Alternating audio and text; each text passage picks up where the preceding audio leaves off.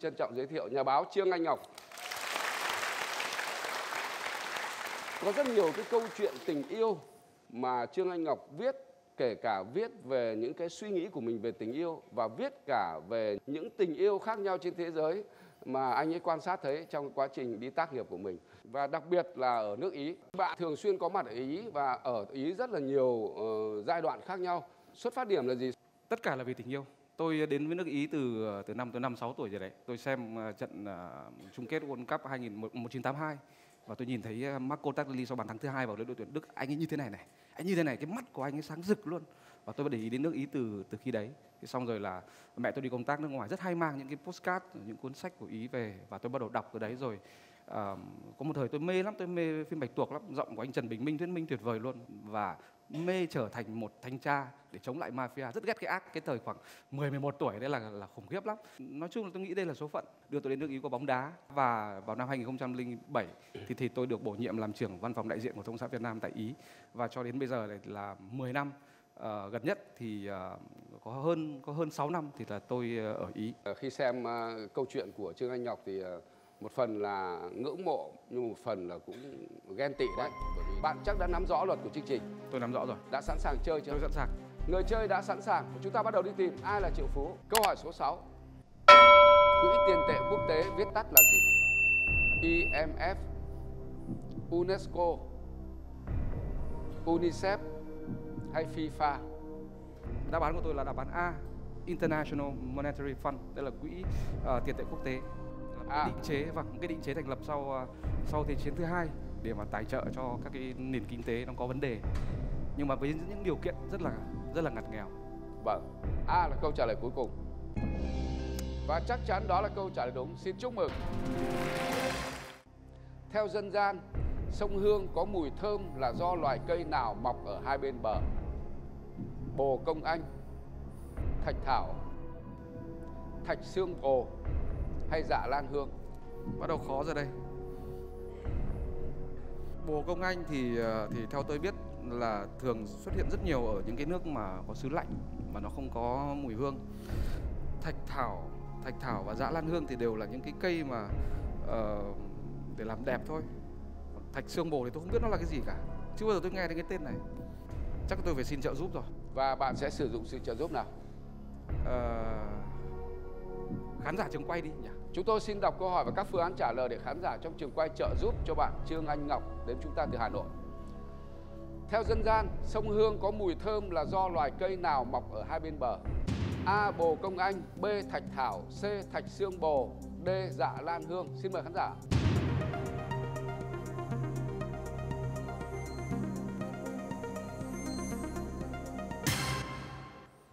Không có ai chọn A 21% chọn B 31% chọn C Và 48% chọn D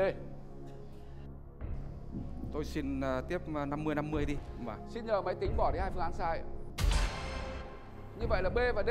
D 48% không phải, B 21% cũng không phải, chỉ còn lại hoặc A Bồ Công Anh hoặc C Thạch Sương Bồ.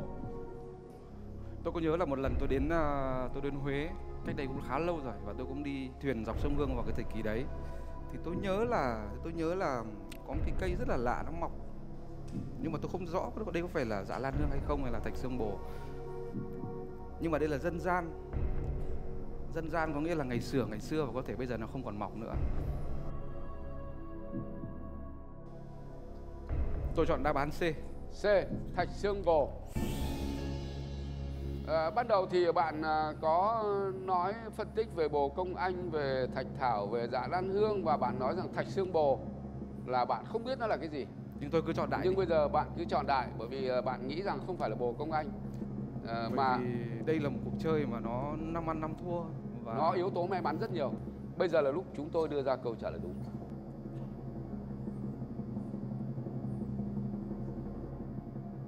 C.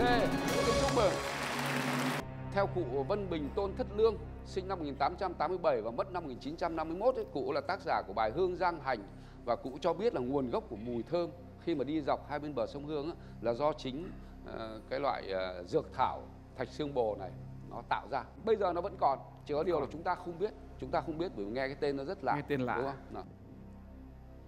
Zayn Malik là cựu thành viên của nhóm nhạc nào? Có phải biết hay sao mà thấy khuôn mặt rạng rỡ, cười. Maroon 5, One Direction, Big Bang hay Backstreet Boys? cái tên này là một cái tên uh, theo theo cái cái cái phân tích của tôi vì tôi đi rất nhiều. Đây là một cái tên mà có gốc Ả Rập.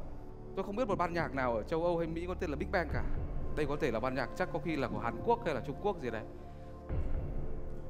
Backstreet Boy Backstreet Boy thì tôi nghe từ ngày xưa ngày xưa cơ. Chả có anh nào tên là tên là Malik cả. Bây giờ chỉ còn có Maroon 5 với cả với cả One Direction thôi. Thì thực ra One Direction trẻ quá. Là ban nhạc của tuổi tin thôi. Tôi nhớ là một lần là, một lần là giả cả nhà tôi còn còn ra một cái khách sạn của của ờ, của của One Direction đến ờ, đến đến Roma đi để biểu để biểu diễn cơ. Và tôi thấy lúc ấy vợ vợ chồng tôi là già nhất trong cái đám đấy. Nhưng mà Maroon 5 thì già hơn một chút giờ ta lại phải đánh cược tôi chọn phương án B One Direction One Direction, B B. Bạn đã đưa ra câu trả lời cuối cùng B, One Direction. Câu trả lời đúng của chúng tôi là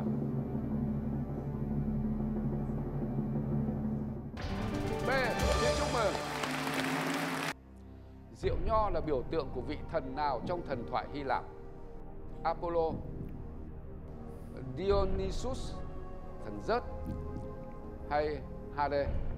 ở nhà tôi có một cuốn ờ, thần thoại Hy Lạp của ờ, Nguyễn Văn Khỏa và bản dịch từ từ khá là lâu rồi. Và tôi đọc cái cuốn đó từ khi tôi còn bé tí cơ. Thì Apollo là vị thần đẹp trai lắm. Lúc nào cũng cầm cái đàn và là cái vị thần đại diện cho cho nghệ thuật, cho nghệ thuật, cho âm âm nhạc. Ông này yêu nhiều lắm và rất lăng nhăng. Đáp án C, thần rớt cũng vậy. Thần rớt còn lăng nhăng hơn hơn nữa cơ. Hóa ra các thần là lăng nhăng hơn con người. vì vì họ chính là con người. Họ dùng quyền lực của mình để họ áp đặt lên thế giới của, của con người. Hades thì thực ra ông ấy không ở trên trời mà ông ở dưới đất. Ông ấy là vị thần âm phủ. Ông là vị ông là như kiểu thần ông như kiểu là thần chết vậy. Thần ờ, rượu nho của Hy Lạp là Dionysus. Chúng ta viết là Dionysus nhưng chúng ta đọc là Dionysos. Như vậy, câu trả lời cuối cùng của bạn sẽ là? À, đáp án B. B, Dionysus. Dionysus. Chúng ta sẽ xem câu trả lời đúng ở đây là gì. B, xin chúc mừng. Bánh sừng trâu là món ăn trong dịp lễ Tết của đồng bào dân tộc nào? Khmer, Chăm, Ba Na hay Cơ Tu? căng rồi đây quá căng rồi đây Và Ờ, về mặt địa lý thì ờ, tất cả các dân tộc này đều sống ở miền Trung trở vào đúng rồi. tôi đi miền Trung rất là nhiều nhưng mà tôi chưa có những bất cứ một cơ hội nào là để mà ăn cùng với họ ở cùng với họ và uống cùng với họ chưa bao giờ là biết đến cái bánh này cả chắc là tôi lại lại phải xin trợ giúp rồi Và bạn sẽ sử dụng sự trợ giúp nào? sự trợ giúp cuối cùng tôi có À, hỏi ý kiến tổ tư vấn. Xin hỏi là trong trường quay ai biết chắc chắn câu trả lời đúng ạ thì giơ tay ạ. Chào khán giả trên trường quay, cháu là Nguyễn Thị Hoài Phương, cháu ở trường Đại học Khoa học Xã hội Nhân văn ạ. Ờ, cháu xin trợ giúp cho chú là ý D cơ tu ạ. Cháu học với bạn ở Quảng Nam ạ và bạn đã từng cho cháu về cái bánh này ạ. chuẩn rồi Người đầu tiên chọn D, cơ tu. Chúng ta sẽ lắng nghe tiếp. Em xin chào tất cả mọi người ạ. Em là Bùi Thị Lệ Thu ạ, đến từ Học viện Y Dược Học Cổ truyền Việt Nam ạ. Thì em xin trợ giúp cho chú đó là phương án cơ tu ạ. D, cũng Vâng, chọn D, vùng Quảng cơ Trị tu. ạ. Và người thứ ba chúng ta sẽ lắng nghe. Xin chào tất cả mọi người, cháu là Lê Duy Trung Anh, cháu đang là sinh viên năm nhất Đại học Giao thông Vận tải ạ. Thì ờ, cháu xin trợ giúp cho chú là phương án D, dân tộc Cơ Tu ạ. Bánh sừng trâu thì cháu có một người bạn ở Đà Nẵng thì cũng thường xuyên nói về bánh sừng trâu cho cháu nghe rồi. Như vậy là ba người của tổ tư vấn đều chọn D, cơ tu. Bạn sẽ là người quyết định. tỷ lệ là 3 trên 3 100% tôi nghiêng về tổ tư vấn Và bạn sẽ nói quyết định của mình. à, dân tộc cơ tu đáp án D D, câu trả lời cuối cùng là D, theo tổ tư vấn. Mặc dù tôi không biết là bạn có xem nhiều không nhưng trong nhiều trường hợp thì tổ tư vấn cũng nhầm lẫn giống như những người chơi ở dưới này thôi. Nhưng mà đấy là quyết định của bạn. Bạn có quyền dừng cuộc chơi nhưng bạn không dừng. Trả lời đúng bạn sẽ có thêm 8 triệu. Trả lời sai bạn mất đi 12 triệu. Chúng tôi xin đưa ra câu trả lời đúng. D. Xin chúc mừng. Người dân tộc Tà Ôi ở huyện A Lưới, tỉnh Thừa Thiên Huế có nghề truyền thống gì? Chạm khắc đá, dệt rèn, trồng thảo dược hay nấu rượu? căng ở đây tôi chẳng biết nói gì nữa tôi chẳng biết nói gì nữa đây là những câu hỏi quá khó mà cũng hết cả trợ giúp rồi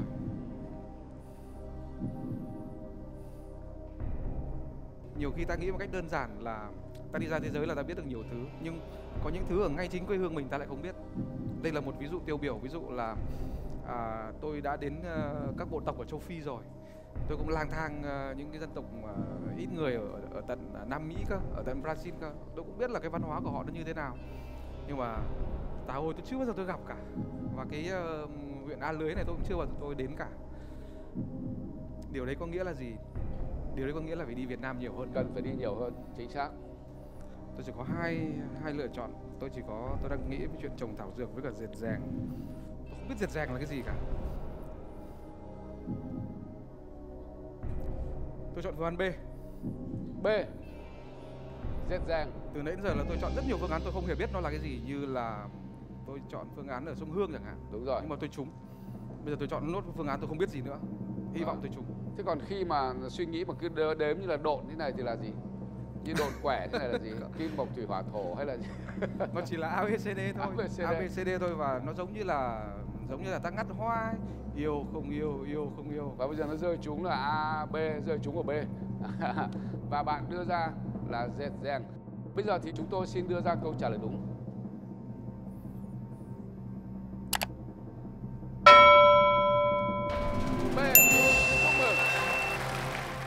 Câu hỏi số 12 trị giá 40 triệu.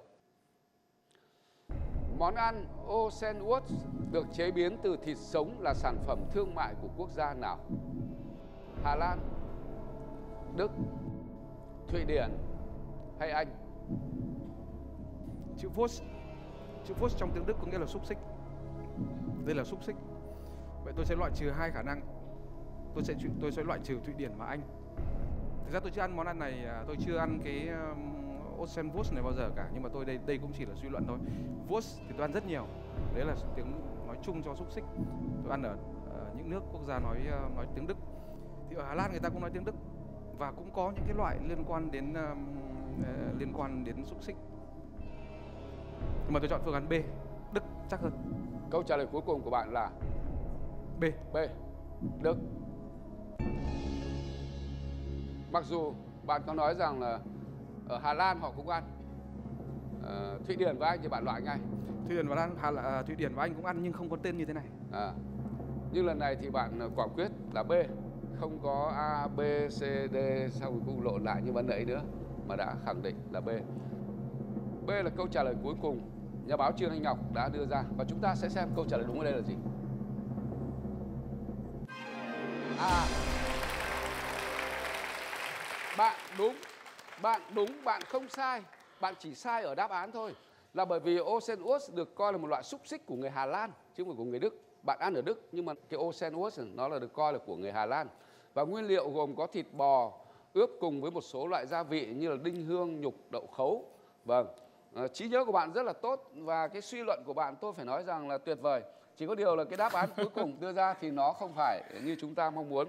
Tấm séc 30 triệu bây giờ thì nó không còn giá trị nữa rồi, nó không phải của bạn.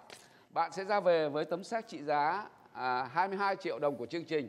Chúc mừng Trương Anh Ngọc. Cảm ơn bạn đã đến với tôi.